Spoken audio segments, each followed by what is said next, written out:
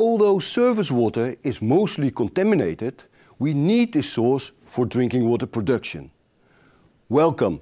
Today I will give an introduction to the direct treatment of surface water for the production of drinking water. After this lecture, you will have an impression of the developments in the direct surface water treatment and the influence of different steps on the final drinking water quality. Surface water is one of the resources for drinking water production and is used when sufficient fresh groundwater isn't available. In the Netherlands, this is the case in the densely populated coastal area.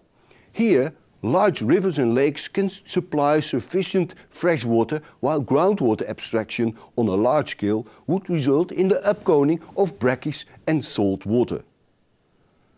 However, disadvantages of surface water as source for drinking water production are the contamination by solids resulting in turbidity, by pathogenic microorganisms and chemicals such as heavy metals, pesticides and pharmaceuticals.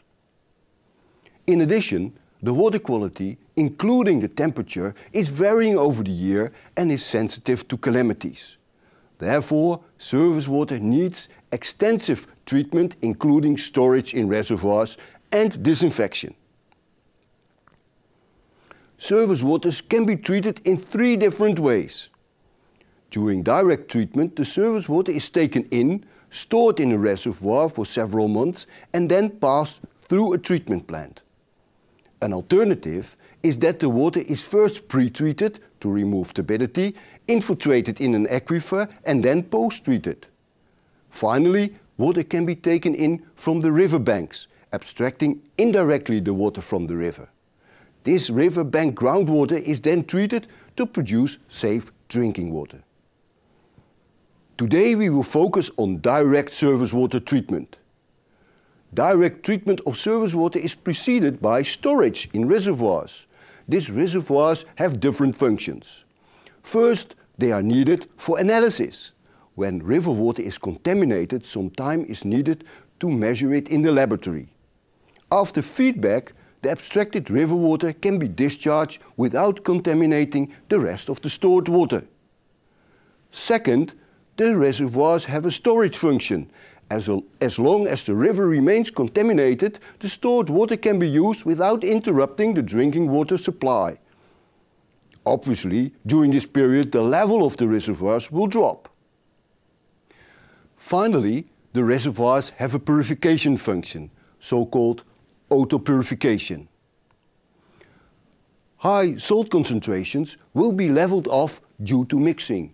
Suspended solids will settle, gas and heat will be exchanged with the atmosphere, organic matter will be broken down and anthropogenic pathogenic microorganisms will decay. From the water quality table, it can be concluded that, for example, the average electrical conductivity as an indication of salt content remains the same. Turbidity values decrease, E. coli numbers as an indicator for pathogens decrease and the bentazone concentration as an indicator of herbicides remains the same since degradation does not occur. In order to be able to calculate, for example, the decay of pathogenic microorganisms, it is necessary to determine if a reservoir can be considered to be completely mixed or in plug flow condition completely mixed reservoirs are less efficient in the removal of pathogenic microorganisms than plug flow reactors, as can be concluded from the equations. Several completely mixed reactors in series, however, will approach the efficiency of a plug flow. To understand these equations, please do the exercises. Surface water after storage needs extensive treatment conventionally, the main objectives were to remove turbidity, odor, taste, and to disinfect the water. A conventional treatment train consisting of coagulation, where iron or aluminium salts are dosed, floc formation, floc removal, rapid sand filtration, and chlorination meets these objectives. However, in 1973, the Dutchman Joop Rook discovered that chlorination of natural water results in formation of carcinogenic disinfection byproducts such as trihalomethanes, of which chloroform is the best known. Therefore, at the end of the last century, chlorine was abolished from the conventional water treatment plants in the Netherlands and ozonation was used as alternative disinfection step. In addition, at the end of last century, organic micropollutants such as bentazone were permanently present in the source water. These organic micropollutants were also suspected to have impact on human health. These micropollutants could not be removed by conventional treatment steps and activated carbon filtration was added to the treatment train. Activated carbon absorbs the dissolved organic matter, including pesticides, and removes it from the water phase.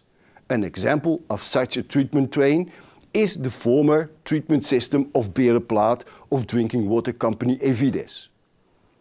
As can be observed, the bentazone concentration is removed up to levels below the detection limit. As can be seen, some of the organic matter, measured as dissolved organic carbon or DOC, is removed as well.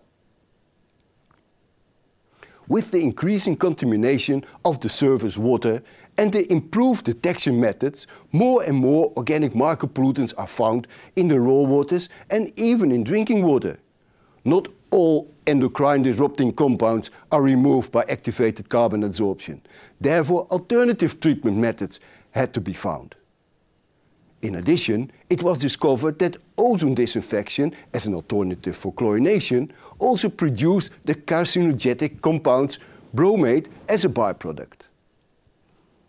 Finally, several resistant pathogenic microorganisms were identified that were difficult to eliminate with both chlorination and ozonation. One of the developed methods is the Advanced Oxidation Process, or AOP, consisting of a combination of ultraviolet and hydrogen peroxide. In this process, so-called OH radicals are formed that oxidize the organic matter present in the water. In addition, the UV light sterilizes the pathogenic microorganisms so that they cannot reproduce anymore. The first full-scale plant based on UV H2O2 was built by drinking water company PWN in Andijk. Another alternative is the application of membrane filtration. With microfiltration and ultrafiltration, turbidity and pathogenic microorganisms are removed without the use of chlorine, ozone or UV, whereas with nanofiltration and reverse osmosis is it possible to remove the organic micropollutants. Additional advantage of nanofiltration is that the water is partly desalinated and all bivalent ions are removed as well, softening the water. With RO, almost all salts are removed. In the case of surface waters with a little too high levels of salts, NFRO can be applied as a partial treatment as is done in Heemskerk of PWN. During this lecture, I gave an overview over the developments in direct surface water treatment. In the next lectures, we will explain in more detail how to design the individual treatment steps, such as coagulation, sedimentation and rapid sand filtration, the basis of all surface water treatment systems. Don't miss it. See you next time.